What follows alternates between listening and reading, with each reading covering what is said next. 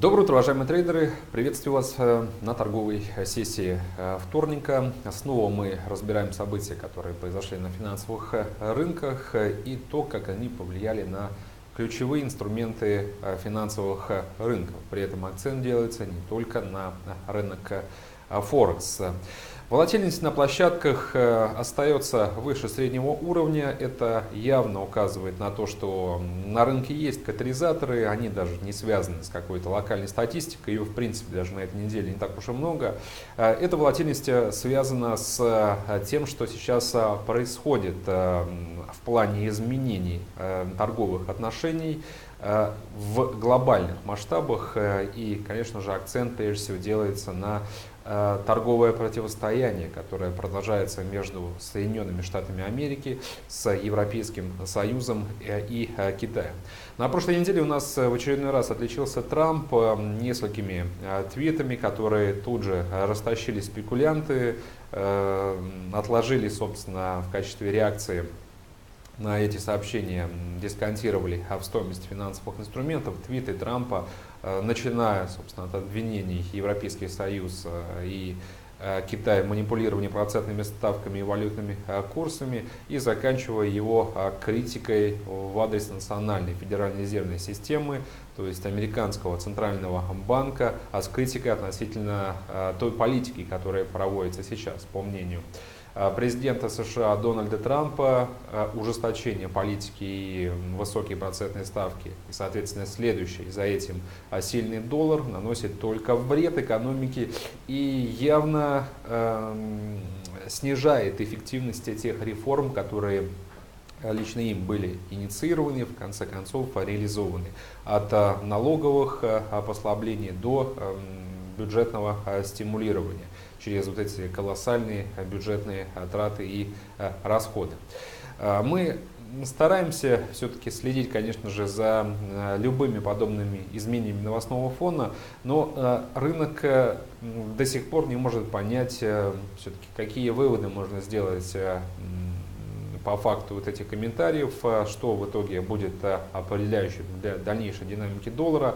Вроде бы как негатив а, в адрес Федрезерва и потенциальный, э, скажем, стопор, в котором может оказаться американский регулятор, может отложить решение по процентным ставкам и, соответственно, это причина для слабости доллара. Ну, с другой стороны, у нас есть и Альтернативный сценарий действий уже со ссылкой на министра финансов США Стивена Мнучина, который еще раз в ходе вчерашней торговой сессии уже постфактум, а, скажем, прошедшей встречи G20 подтвердил, что Федрезерв действительно остается независимым финансовым институтом, а, поэтому а, тот план, который был обозначен ранее, а план, предполагающий два повышения процентной ставки, этот план, который э, будет э, выдержан дальше. То есть э, эти намерения, намерения в конце концов, по ужесточению политики будут подтверждены реальными действиями.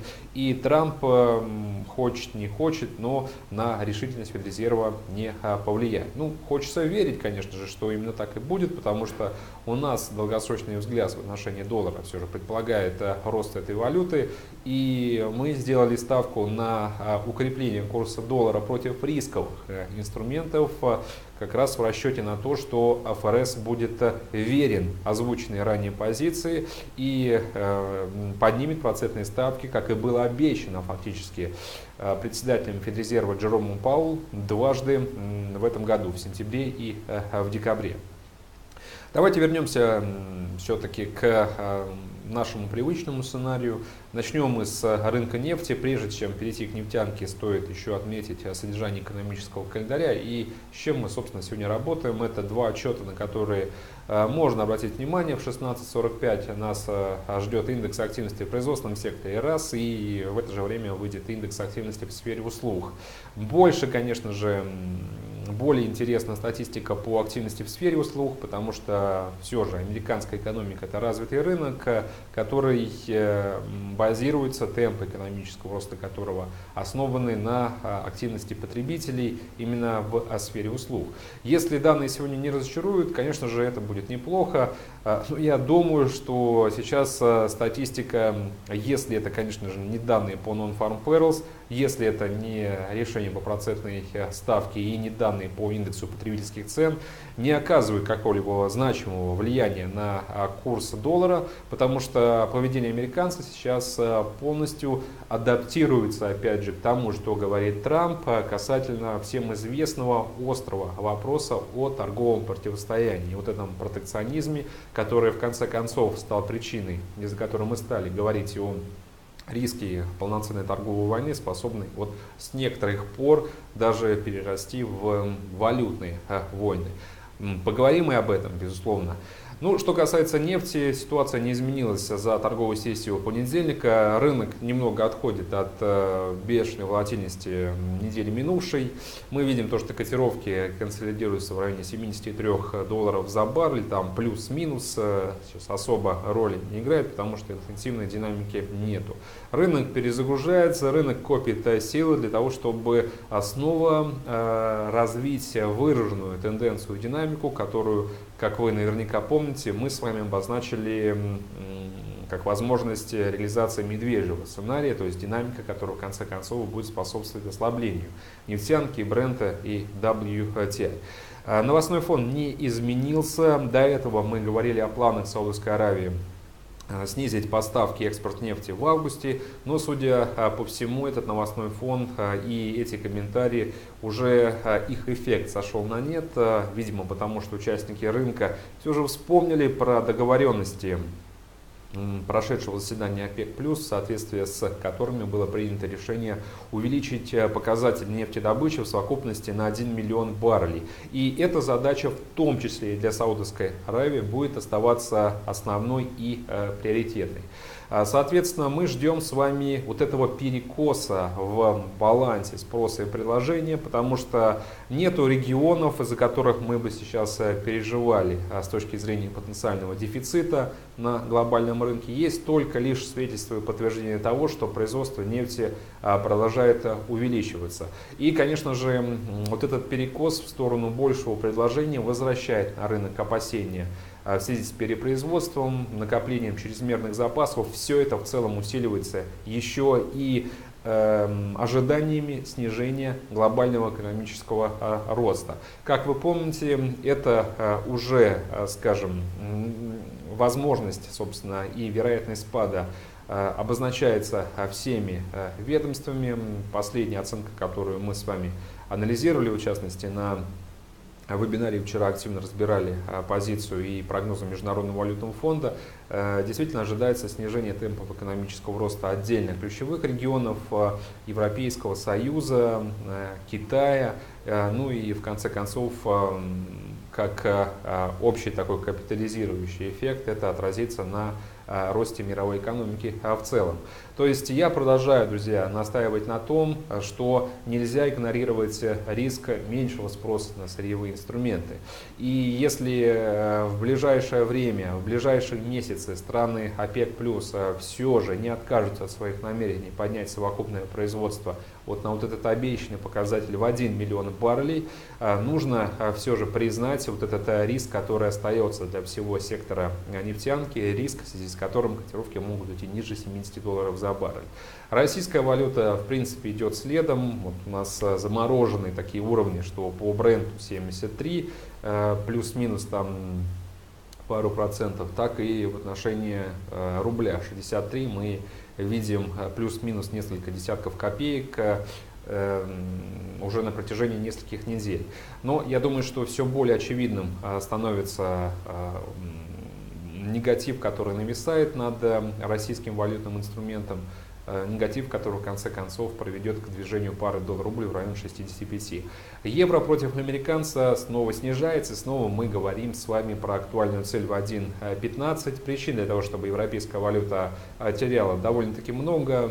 Предлагаю вспомнить и критику Трампа в адрес Европейского Центрального банка, ну в целом в адрес Европейского Союза, конечно же, Трамп не уходил в такие мелочи, как ЕЦБ, и так далее. А критика была направлена в целом на Европейский Союз, э, который как регион проводит мягкую экономическую политику и создает конкурентные преимущества через э, программу QE, количественного смягчения, и низкие процентные Э, ставки. Вчера мы говорили о том, насколько сильно в связи с этим сейчас выглядит контраст режимов, который осуществляется Федрезервом и, собственно, Европейским центральным банком. Может быть, как раз и э, параллельная критика в адрес Федрезерва э, была связана и с тем, что э, самого Трампа немного э, подбешивает то, то, что сейчас происходит с монетарной политикой, э, именно национальной, потому что э, повышение процентных ставок приводит к укреплению а, курса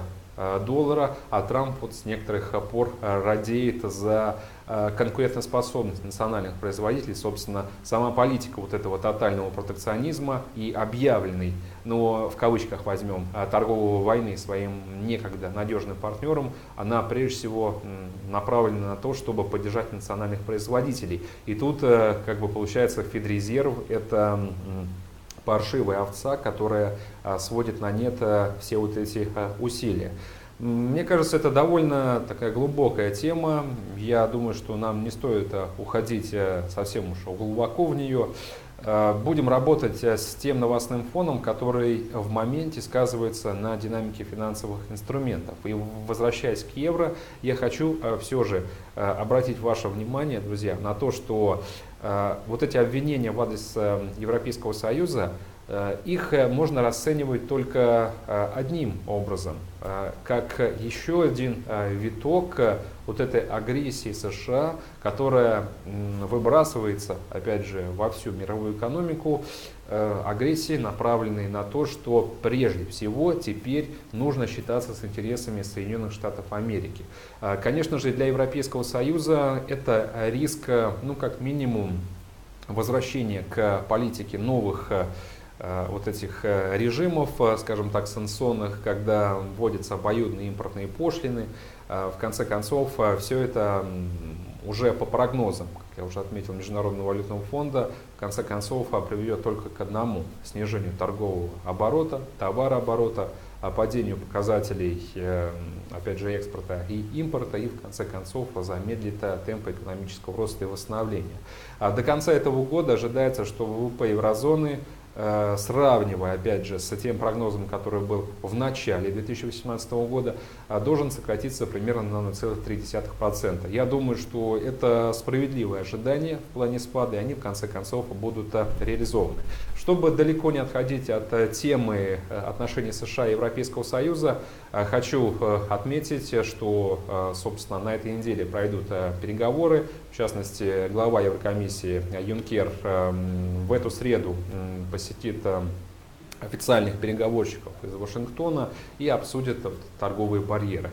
Э, не знаю, к чему это приведет. С одной стороны, можно настраиваться на позитив, но с другой стороны, что-то этим позитивом, а судя, последние, судя по последним заявлениям Трампа, Э, не очень-то и пахнет. Поэтому я бы предлагал, предложил бы сейчас замкнуться все же на а, рисках, которые имеют место быть.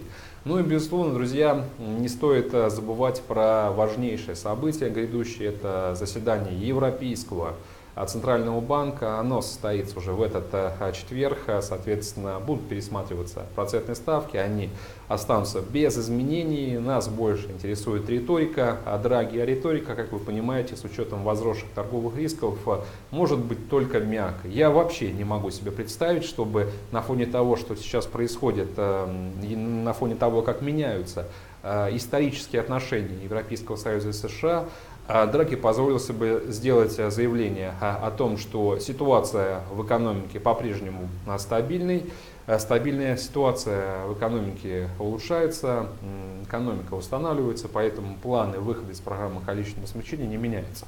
Я бы даже сказал, что возможно скажем, в идеале, на что мы можем рассчитывать, это на э, ослабление курса евро. Я не думаю, что европейская валюта вообще э, вырастет. Альтернативный сценарий того, что произойдет с главным валютным риском, это, собственно, отсутствие какой-то мощной реакции, хотя эта позиция действительно оправдана, поскольку э, текущее заседание, получается последнее перед э, месячным перерывом, э, и обычно в этот период каких-то важных решений не принимают. В лучшем случае, если они и эм, будут обозначены рынку, это уже сентябрьское заседание, которое состоится, по-моему, 13 Э, сентября.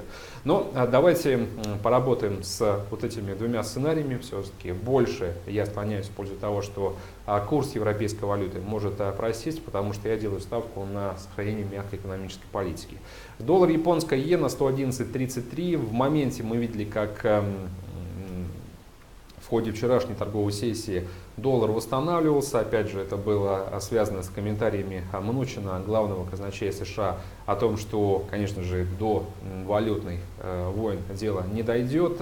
Однако доллар также быстро и потерял все, что ему удалось набрать э, в рамках, э, собственно, торговой сессии. Сейчас мы э, больше склоняемся к тому, что пара продолжит снижаться в районе 111 и, и можно действительно протестировать поддержку 110.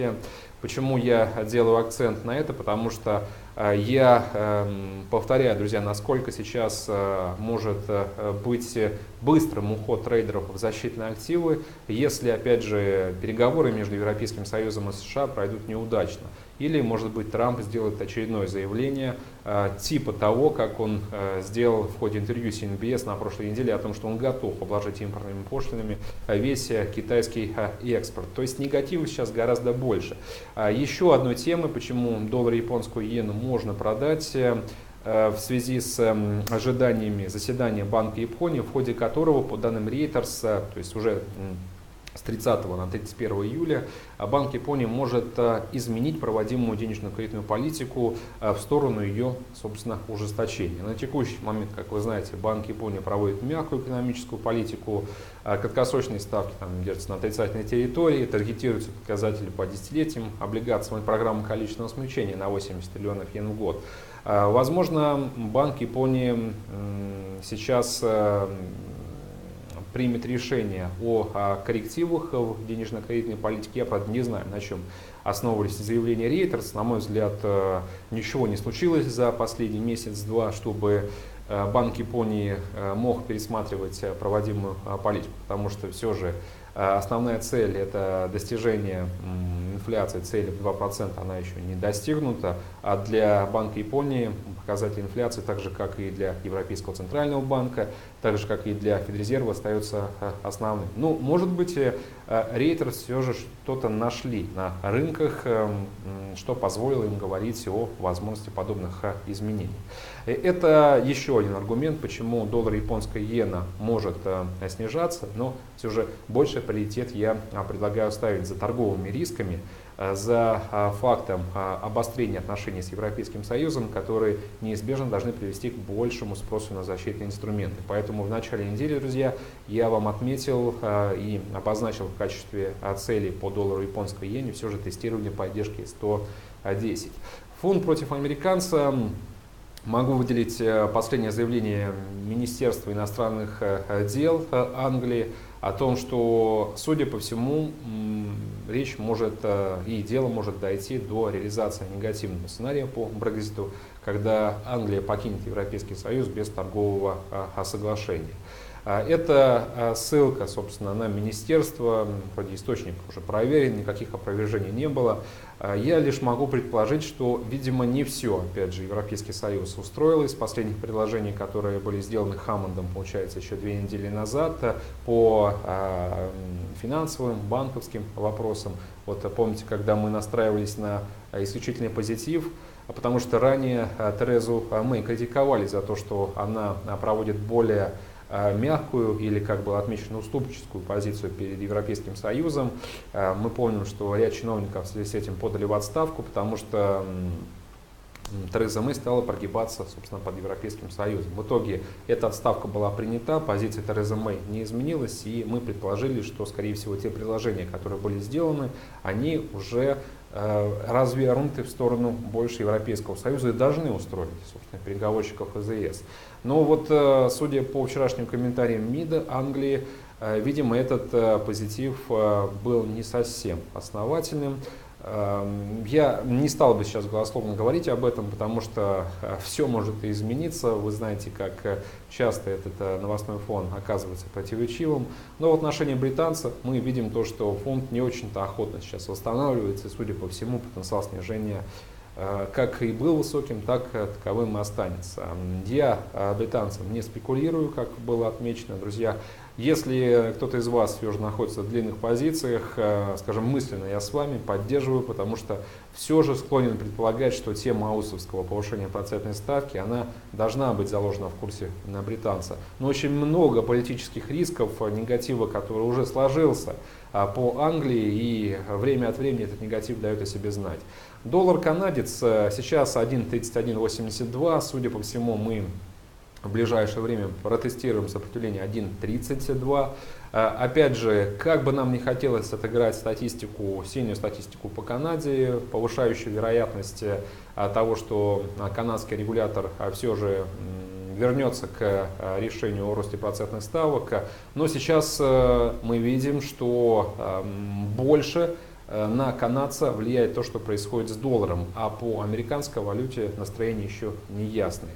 А, пока что сохраняется потенциал снижения собственно, цен на черное золото. Мы с вами а, придерживаемся а, ну, прогноза того, что долгосрочно пара доллар-канадец все же может восстановиться. Но я также не отменяю и краткосрочную цель на отметке 1.3050. Мне кажется, друзья, что не просто так рынок вот уже сколько дней подряд обхаживает более-менее близко этот ориентир. И, возможно, я допускаю, что в порядке теста мы эту планку а, сделаем. А, к примеру, стоит только, опять же, прежде чем а, бренд двинется на поддержку 70 долларов за баррель, отыграть предстоящий отчет по запасам, то есть немного подрасти, это приведет к, собственно, укреплению канадского доллара. Э, и усилить эту динамику может еще, опять же, неудачные итоги переговоров между США и Европейским Союзом, которые запланированы на среду. Но это все краткосрочный эффект. Вы должны понимать и четко разграничивать. Есть э, ожидания по краткосрочной сделке, есть все же долгосрочные ориентиры, которые я, собственно, отметил. Европейский фондовый рынок в связи с предстоящими переговорами, о которых уже очень много было сказано, снижается. Это тоже в соответствии с ожиданиями. По немецкому индексу я не вижу хороших а, перспектив, собственно, так же, как и по американской фонде. Да, американский фондовый рынок пока поддержал финансовый сектор из-за роста доходности трежерис.